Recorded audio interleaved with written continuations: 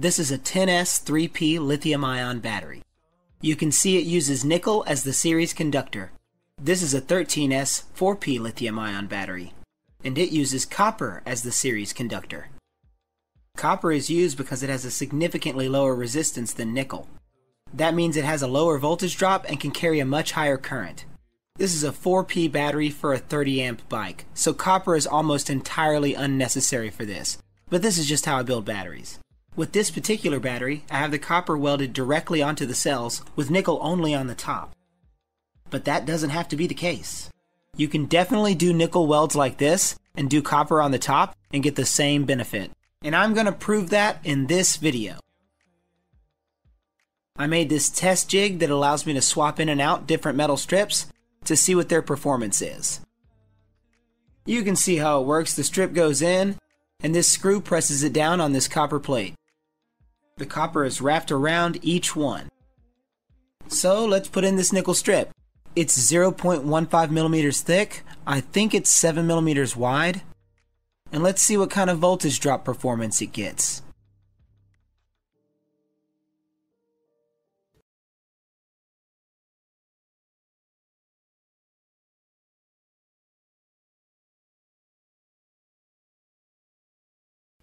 Okay, I'm putting 1 amp into the strip and it's producing 8.4 millivolts of voltage drop. Now, watch what happens when I increase the current.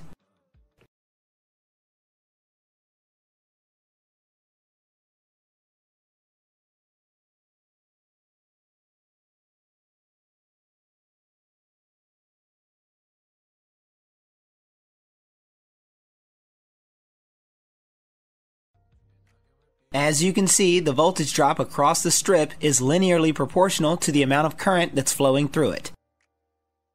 The reason why it's slowly increasing right now is because we're putting 8 amps through this tiny nickel strip and it's heating up. For most things, as they heat up, their resistance increases. When that happens, it increases the voltage drop across it. It will eventually stabilize or catch on fire. So we're just gonna wait and see what happens. Okay, it's pretty much stabilized. It's been sitting here a minute or two, so check this out. As I touch this and feel the warmth, my body is absorbing some of that heat energy. That's how I can feel it. That means I'm reducing the temperature of that strip. And that's going to decrease its resistance, which is going to lower its voltage drop, and that's what we're seeing right there. And now when I release it, it heats back up. So now let's see what the copper strip does.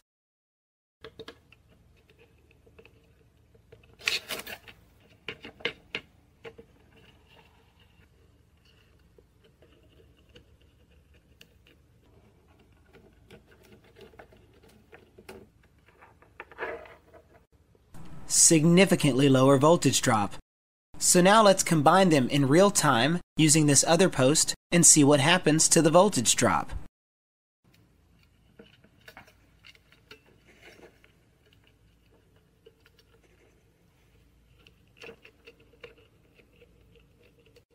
It's already making a little bit of a connection there.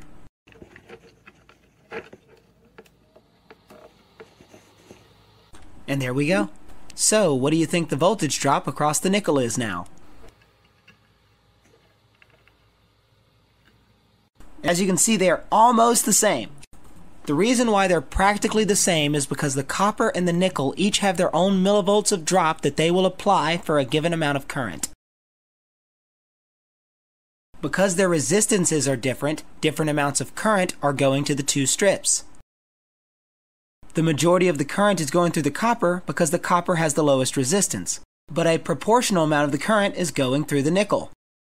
Anytime you add resistors in parallel, the overall resistance is always going to be lower than either of those things on their own. Some people think that adding a higher resistance material to a lower resistance material that's used as a series conductor either won't give you any benefit or will actually lower performance. But this proves that that is false. Check it out. I'm going to remove the nickel as we monitor the voltage drop across the copper. Removing the nickel, and there we go. We can clearly see that more current is flowing through the copper now because it doesn't have the nickel there to help it. Check it out.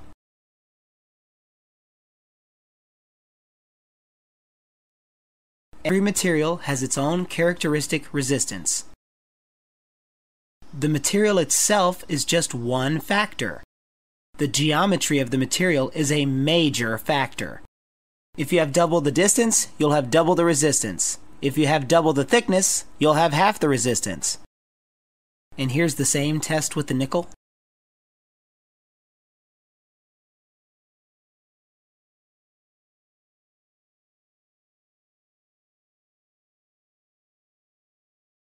So let's say this is a battery with a nickel series conductor, and you add copper to it.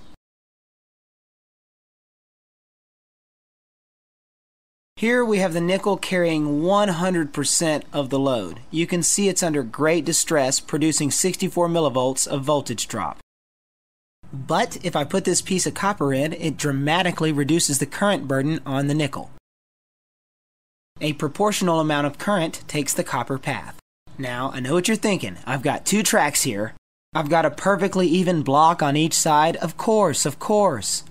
That same thing wouldn't happen if I put the copper on this side, only touching the nickel, not touching the block at all, right?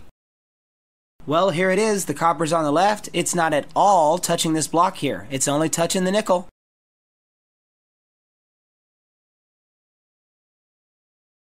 And what do you know? It just depends on where I put my probes as far as what voltage drop we're getting. I'm not touching the copper, I'm just touching the nickel. I can even measure just the nickel. I'm just on the nickel there. It's kinda acting like a piece of copper, isn't it? And now I know what you're thinking again. Oh, that's just a strip on a test jig. That's not a real battery. It's not the real world. That wouldn't happen on a real battery. Well, here's a real battery. I welded some main connections to it for the test, and I made this test load out of a piece of nichrome wire, and it's sized just right to draw a third of the current of the volts that you give it. So if you give it 10 volts, it'll pull 3.33 amps. If you give it 100 volts, it'll pull 33.33 amps. We're going to give it around 40 volts. Here, check it out. I'm going to be running it in water, but I'll just run it here like this so you can see.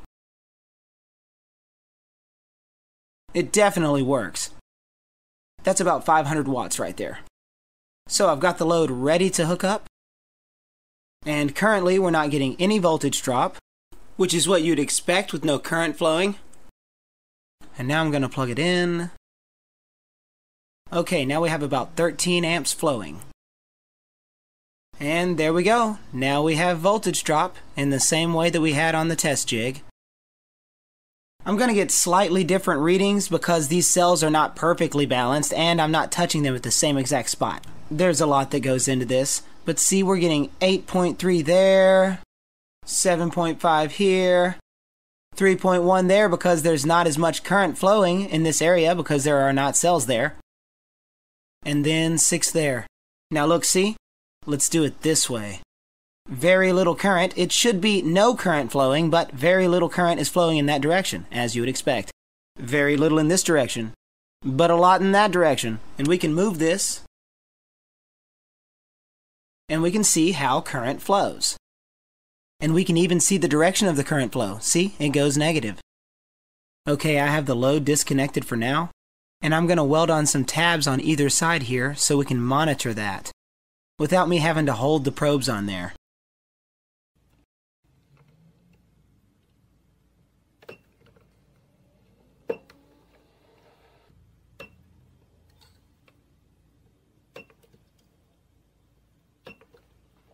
Okay, and here we are. No current is flowing, and let's plug it in. Now current is flowing.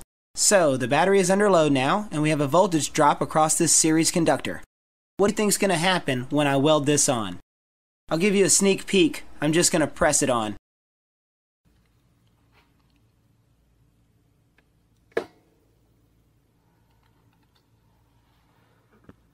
Okay, so let's weld it. I'm going to plug the load in. There it goes.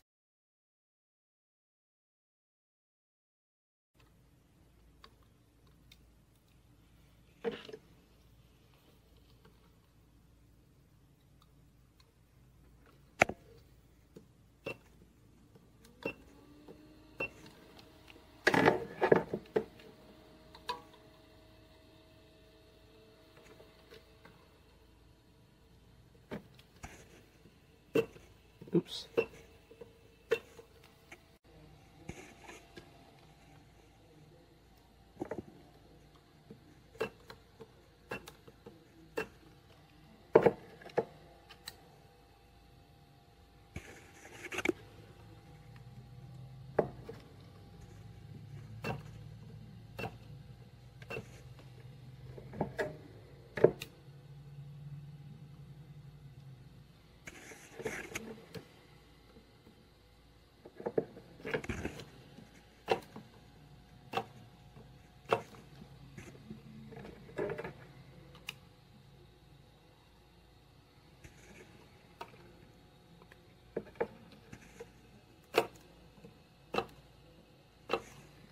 And there we go. It's cooling, so its resistance is lowering and its voltage drop is lowering. So let's weld another piece of copper on to see what happens. I'm already down to 0.8 millivolts and this isn't a very expensive meter. So I need to increase the current, which will increase the voltage drop and make it easier to see it when we lower the voltage drop by adding more copper. This nichrome wire has a certain amount of resistance per foot. If I reduce its length, I will lower its resistance, which will cause more current to flow. I think the easiest way to do that is to just short out a few of these coils. I don't know exactly how much this will cause the current to increase, but it will increase it some amount. Alright, I pulled four loops together in this nickel, I'm going to weld over it. That was very difficult, but I think I got it. Okay, the load's back in the water. Let's see what kind of voltage drop we're getting now. Remember, before we were getting 0.8 millivolts. Okay, not much more. That's just one. Okay, I did another one with way more loops. This should pull way more current. Okay, I guess that's enough. Let's weld on another piece of copper and see what happens to that voltage drop.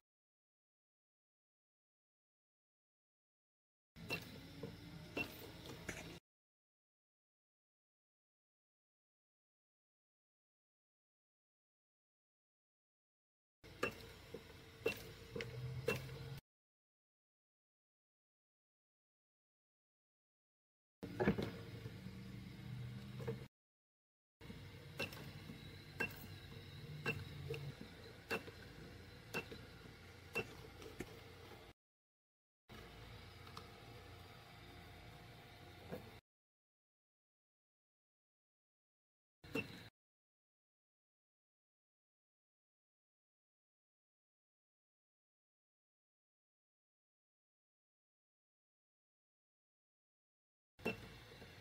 As you can clearly see, there's absolutely no problem adding copper on nickel or copper on copper. Yes, electrons take the path of least resistance and all that, but they don't ignore paths. The current is distributed proportionally. This becomes a composite resistor that has new characteristics that's composed of several different resistances that all exist at different planar heights.